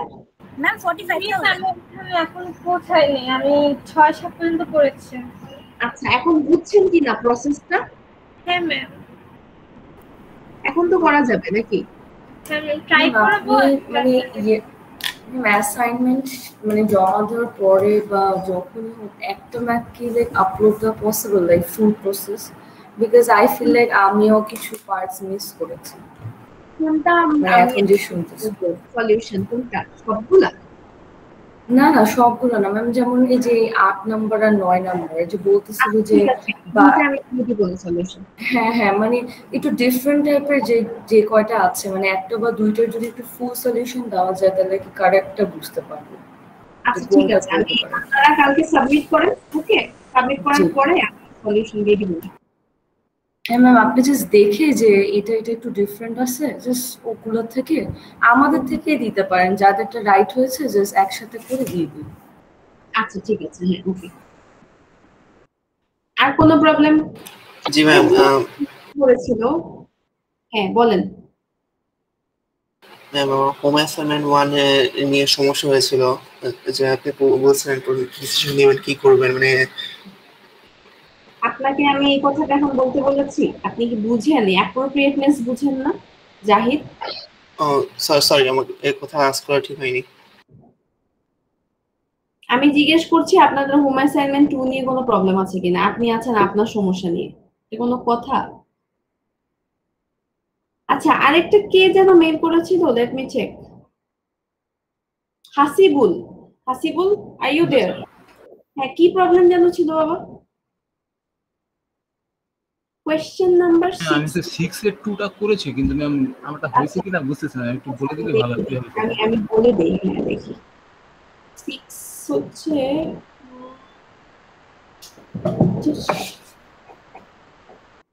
আচ্ছা সিক্স এর requirement number two yes ma'am okay তো প্রথম থেকে একটু পড়ি। Outback Outfitter sales recreational equipment one of the companies products a small camp stove sales for $50 per unit variable expenses are $32 per stove and fixed expenses associated with the stove total 1 lakh 8000 per month compute the break even acha if the variable expenses per stove increase as a percentage of the selling price will it result in a higher or lower break even point why assume that the fixed expenses remain unchanged আচ্ছা এটা একটা theoretical answer ঠিক আছে এখানে কিন্তু কোনো অঙ্ক নাই জানেন জি ম্যাম থিওরিটিক্যাল একটা কনসেপচুয়াল অ্যান্সার হবে। তো এখানে যেটা আপনি করতে পারেন যে, করে দেখতে পারেন। মানে একটা জাস্ট ও যেভাবে বলেছে যে variable expenses per stove increase as a percentage of selling price সেটার সাথে মিল রেখে যদি আমি ভ্যারিয়েবল এক্সপেন্সকে ইনক্রিজ করি, তাহলে কি আমার ব্রেক ইভেন পয়েন্ট হাইয়ার হবে নাকি লোয়ার হবে? This is the question right তো আপনি এভাবে চিন্তা করেন, আমি একটু চিন্তা করি যে সেলিং প্রাইস আর ভ্যারিয়েবল এক্সপেন্স মানে ভ্যারিয়েবল এক্সপেন্সটা বেশি থাকবে আর কি সিএম এর চেয়ে রাইট তো আমি যদি এভাবে ধরে নেই যে আমার সেলিং প্রাইসের সাথে পার্সেন্টেজ করে ভ্যারিয়েবল এক্সপেন্স বাড়ছে, তার মানে আমার সিএমটা কম হবে। সিএমটা যদি কম হয় তার মানে আমার ব্রেক ইভেন হাইয়ার হবে। ঠিক না? জি ম্যাম হ্যাঁ so this is the answer তা আপনি জাস্ট একটা এক্সাম্পল দেখিয়ে আপনি এভাবে এক্সপ্লেন করতে পারেন যে it will result in a higher break even point why কারণ যে বলবেন যে এরকম আপনার ভ্যারিয়েবল এক্সপেন্স যদি বাড়ে তাহলে আমার ডিনোমিনেটরের যে ভ্যালুটা সেটা কমছে। সেটা কমছে বলেই আমার কি? ফিক্সড এক্সপেন্স যেহেতু আমার নমিন নিউমারেটরে থাকে তো ফিক্সড এক্সপেন্সকে দিয়ে যখন আমি ডিনোমিনেটর বাড়ছে মানে কমে যাচ্ছে তার মানে আমার ব্রেক ইভেন যে ইউনিটটা আমি বের করছি সেটা কিন্তু কি হচ্ছে? বেড়ে যাচ্ছে। হ্যাঁ ইনক্রিজ করছে। সেইভাবে করে এক্সপ্লেন করলেই হবে ঠিক আছে? ফিক্সড এক্সপেন্স তো এখানে চেঞ্জ হচ্ছে না যা আছে তাই। Okay okay ma'am thank you আপনি এভাবেই করেছেন নাকি? আমি এইভাবে করেছি কিন্তু আমি যে লিখব এটা বুঝতেছিলাম না এই আমি আপনাকে মেইল করেছিলাম। আচ্ছা আচ্ছা। তো এইভাবে করে লিখে দেন মানে আপনি একটা এক্সাম্পল ধরে তারপর নিচে দিয়ে মানে লিখে দেন যে কেন বাড়ছে আসলে। কেন বাড়ছে? এটার কারণটা কি? রিজনটা মানে কেন মানে আপনি অঙ্কটা করার পরে আপনার যেটা মনে হয়েছে ওটাই আপনি আপনার ভাষায় লিখবেন দ্যাটস ইট কারণ আমরা জানি লোয়ার সিএম মানে হাইয়ার ব্রেক ইভেন পয়েন্ট আপনার সিএম যত কম হবে আপনার তত বেশি এফোর্ট দিতে হবে to reach at break even তাই না? মানে সিএম যত বেশি তত তাড়াতাড়ি আপনার ফিক্সড এক্সপেন্স কভার হয়ে কিন্তু প্রফিটে চলে যাবেন আপনি। আর সিএম তত আপনাকে বেশি সেল করতে হবে to reach at break even this is the মানে বটম লাইন আচ্ছা আর আর আছে? আর কোনো প্রবলেম আছে? পাঁচের তিন। পাঁচের তিন?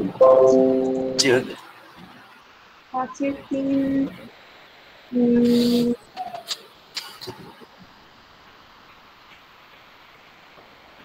কেন এটা তো কি এটা তো সিরিবি গ্রাফ। এটা কি প্রবলেম জাহিদ? জি মানে এখানে ইয়া অ্যাক্টিভিটি মানে কীভাবে করব আমি বুঝতে পারতেছি না। এটা অরিজিনাল ডেটাতে রেফার করা আছে। এটা তো লিংকড আগের মানে ম্যাথগুলোর সাথে। আগের রিকোয়ারমেন্টের সাথে লিংকড মানে শুরুতে যেটা বের করেছেন না ব্রেক ইভেন মানে বলতে চাচ্ছি যে total sales and activity levels কি কানেক্টেড কিনা? টোটাল সেলস অ্যাক্টিভিটি লেভেল এই যে যা দেওয়া আছে সেটা মানে টিকেট যত সেলস হয়েছে এবং প্রতিজন মানে জনসংখ্যা যে আসবে মানে ইয়া ডিনার ড্যান্স ইভেন্টে মানে দুটো কি উপর মানে টোটাল সেস তো ইয়ে লিনিয়ার রাইট লিনিয়ার একটা গ্রাফ অ্যাক্টিভিটি লেভেলস মানে ডিনার ড্যান্স এটা তো নিচে থাকবে মানে এক্স এক্স অ্যাক্সিস তো এই দুটা কি কানেক্ট মানে দুটা কি এক ইন্টার রিলেটেড কিনা? এটা ইন্টার রিলেটেড মানে কি? গ্রাফ যখন করবেন আপনার তো অ্যাক্টিভিটিও দেখাতে হবে সেলসও দেখাতে হবে। এন্ড যেখানে গিয়ে আপনার সেলস আর কস্ট মিলে যায় ওটাই তো ব্রেক ইভেন পয়েন্ট জি। হ্যাঁ। তো ইন্টার রিলেটেড কানেক্টেড মানে এগুলো সবই তো কানেক্টেড আমি আপনার কোয়েশ্চেনটা বুঝি নাই যেটা সত্যি কথা। অন্য কেউ কি বুঝতে পেরেছেন? উনি কি বুঝাচ্ছে? নো ম্যাম আমি না বুঝতে পারি নাই জাহিদ আপনার কোয়েশ্চেনটা actually what you are trying to মানে এক্স অ্যাক্সিস বরাবর মানে আমি যে ডিনার ড্যান্সের প্রতিজন কতজন আসছেন সে সংখ্যা লিখব লিখব কিনা? না এখানে অ্যাক্টিভিটি লেভেলগুলো থাকবে। অ্যাক্টিভিটি তো এখানে হচ্ছে টিকেটসগুলো নাকি? মানে টিকেটস না like three hundred percent four hundred percent এগুলো না অ্যাক্টিভিটি লেভেল নাকি?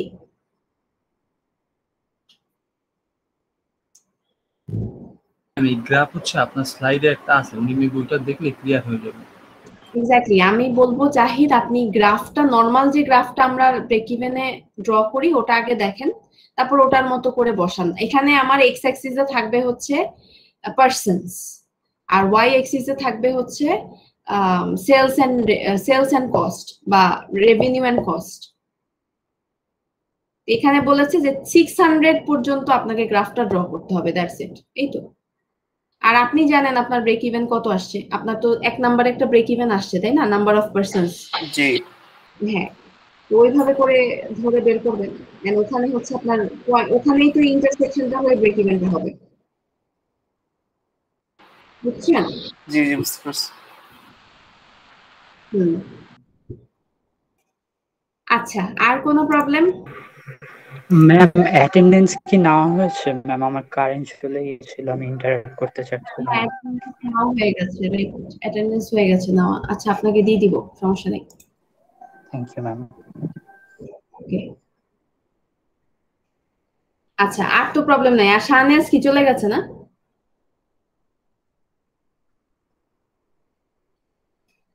হ্যাঁ ওকে তো দেখতে পাচ্ছি না। উনি ছিলেন কিছুক্ষণ দেন চলে গেছেন।